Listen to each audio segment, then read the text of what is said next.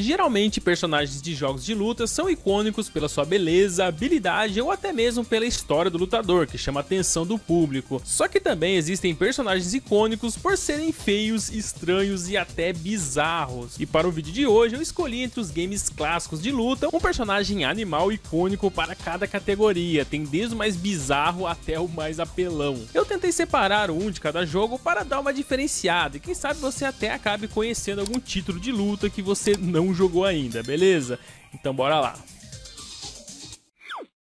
Vou começar falando de Fighting Destiny, um dos jogos de luta esquecidos do Nintendo 64. O título é de 1998 e se assemelha bastante aos lutas 3D da época, né? Tipo Fighting Viper da SEGA, por exemplo, é bem parecido. Na época, o game foi muito criticado por ter personagens genéricos, o que é irônico, já que Fighting Destiny tem a lutadora mais diferenciada de todos os jogos do Nintendo 64, a Ushi. Ushi é uma vaca que resolveu que poderia ser a campeã do torneio Fighting Destiny, ela anda sobre duas patas, exibe suas tetas sem o menor pudor e ainda muge a cada golpe dado com sucesso. Sem contar que ela é uma lutadora debochada, já que a cada vitória no ringue dança em volta do oponente derrotado pra zoar mesmo, pra zombar da cara dele. Estranho é apelido. Usha é uma personagem que você desbloqueia depois de alguns procedimentos no jogo, e talvez por isso os críticos da época acharam os personagens do game todos genéricos. Eles nem chegaram na parte da vaca lutadora que se exibe todo todinha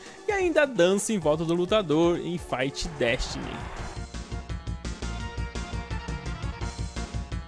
Winner! Se você conhece a série Eternal Champions, sabe que o jogo tem um tom mais mórbido do que os outros jogos de luta da época, pois todos os personagens jogáveis aqui já morreram e estão lutando para ter sua vida de volta. E entre todos os personagens do segundo jogo, aquele Eternal Champions do Sega CD, estão os lutadores secretos, que são animais que tiveram fins verdadeiramente trágicos. Esse jogo é bem mórbido, cada história, cada personagem aqui morreu e morreu feio. Mas um dos principais destaques mesmo é a Ruth, Luther, uma coruja que está vingando a morte do seu mestre feiticeiro que foi executado um tempo atrás junto com ela. Eles estavam queimando o feiticeiro e pensaram que a Ruther, a coruja, aí também era uma bruxa e jogaram ela na fogueira junto com seu mestre. E agora ela está lutando no torneio para ganhar sua vida de volta e se vingar de todos que fizeram mal a ela. É uma coruja caceteira mesmo, e no final de cada luta ela até bota o óculos ali estilo Johnny Cage para zombar do oponente que perdeu. Existem outros animais para escolher em Eternal Champions 2, mas a Ruther com certeza é a mais estilosa e mais estranha como lutadora.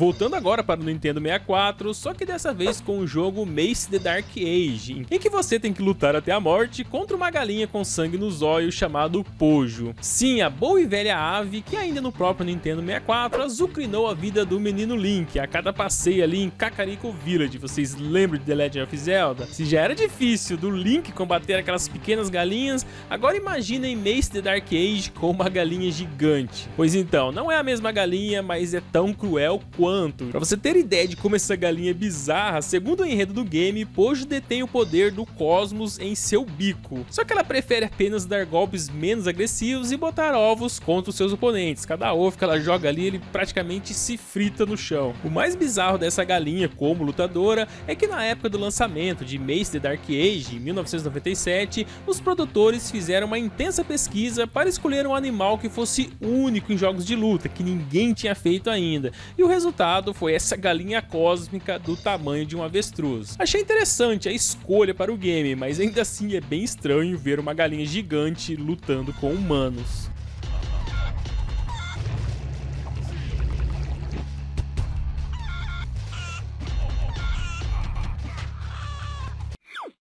Bom, antes de seguir o vídeo, eu tenho um recado bem rápido aqui pra você que segue o Nostalgia dos Games. Se você costuma comprar gift cards ou mesmo joga Roblox, Free Fire, Minecraft, Tibia e outros games online, o Moedas com certeza tem o produto que você precisa com a entrega mais rápida da internet. O Moedas é parceiro oficial aqui do canal e fazendo seu cadastro pelo meu link que está na descrição, cada compra que você fizer estará ajudando demais esse canal. Qualquer produto que você comprar nesse site vai ajudar o Nostalgia dos Games. Se Se você já compra algum desses itens que eu citei em outro lugar, comece a comprar pelo Moedas. É o primeiro link na descrição, acessa lá depois, beleza? Bora seguir o vídeo. Nos jogos Tekken, todo mundo se lembra do Kuma, do Panda, do Roger e até do Gon, né? Aquele dinossauro pequenininho espalhador de gases pré-históricos. Mas para o vídeo de hoje, eu quis falar do Tekken, mas eu quero destacar o Tekken 2, que apresentou um dos lutadores mais estranhos da série, o Roger, um canguru boxeador, e seu filho, Roger Jr. Roger é um canguru geneticamente modificado com a habilidade de lutar, pular muito alto e correr muito rápido. Ele foi nascido e criado em laboratório e por isso se tornou um lutador tão agressivo. O mais interessante é que Roger Jr., o pequenininho aí, sempre está na bolsa de sua mãe e lutam juntos nos torneios para tentar sobreviver financeiramente, já que o Roger pai abandonou a família. É aquela velha história, né? O Roger pai canguru aí falou que ia comprar cigarro e nunca mais voltou. E o filho e a mãe ficaram sozinhos e por isso que eles lutam no torneio, para ter dinheiro para sobreviver. Não sei o que é mais estranho aqui, né? Um canguru criança lutando ainda dentro da bolsa da mãe, ou esse cara caso de família aí dos cangurus divorciados. Quem jogou Tekken viu os finais tá sabendo aí da história. Bom, o tema do vídeo são animais muito estranhos dos jogos de luta e essa família canguru se encaixa perfeitamente na proposta.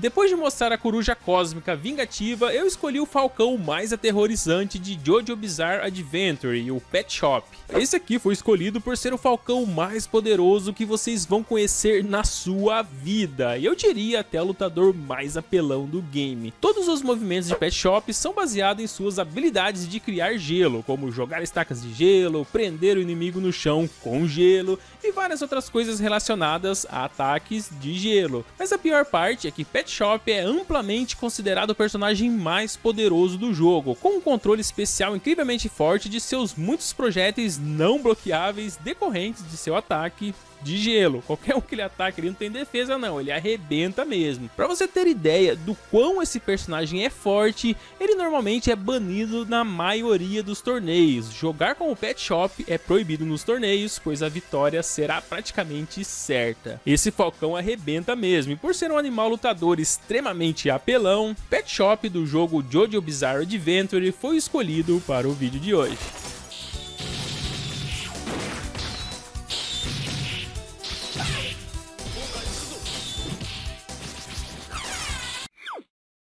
90, Clay Fighter tentava se destacar entre os inúmeros jogos de luta repetitivos e genéricos. Tem muito jogo bom, mas tinha muito, muito, muito jogo mesmo, e a maioria ali foi ficando muito parecida. Só que Clay Fighter ganhou destaque, seu diferencial era que todos os personagens foram feitos com argila. E essa mudança de ambiente fez com que muitos jogadores procurassem Clay Fighter, nem que fosse pela curiosidade. Mas enfim, o segundo game da série, lançado em 1994, é uma paródia do filme filme Exterminador do Futuro 2, e mesmo contendo outros animais lutadores ali, o personagem que mais se destaca é o Hope, um coelho que é praticamente o clone do Arnold Schwarzenegger do filme, só que de argila, né, e no formato de um coelho. E a aparência dele já é estranha por si só, mas o que mais me chamou a atenção foi a história do final dele no segundo título. E o final ali diz assim, Hope é tão apaixonado por andar de moto que depois de se tornar o grande mestre quando finalizamos o game, ele imediatamente declara as motocicletas o veículo oficial da Terra. Isso significa que qualquer um poderia pilotar sobre duas rodas, até mesmo crianças, desde que elas usassem rodinhas. Ele fala exatamente assim no final do game. Um personagem animal bem caricato e estranho do jogo Clay Fighter.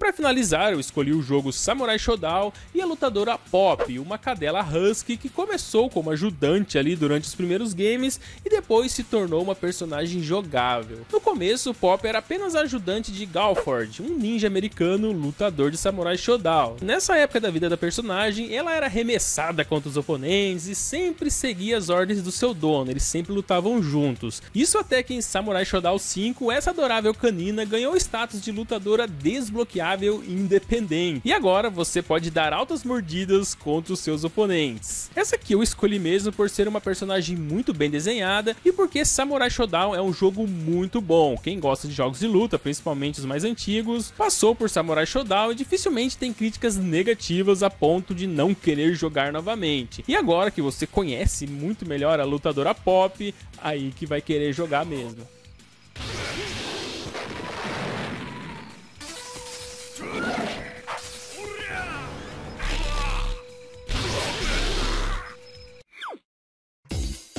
É isso aí família, nesse vídeo eu escolhi alguns personagens animais em jogos de luta que são icônicos, alguns por serem exclusivos, bem trabalhados, ou mesmo por serem bizarros. E como eu disse, eu escolhi personagens em jogos diferentes para não ficar um vídeo mais do mesmo, aquele vídeo repetitivo, listas que você vê em todo lugar. Eu sempre tento, mesmo falando de jogos antigos, sempre trazer algo novo para vocês conhecerem. Espero que vocês tenham gostado do conteúdo, quem gostou deixa o like, se inscreva no canal e não se esqueça de fazer uma visita no Moedas, o parceiro aqui do canal, é o primeiro link na descrição, dá uma olhada lá, faz seu cadastro, vai estar ajudando demais o Nostalgia dos Games. Agora sim, encerrando por aqui e até a próxima. Fui!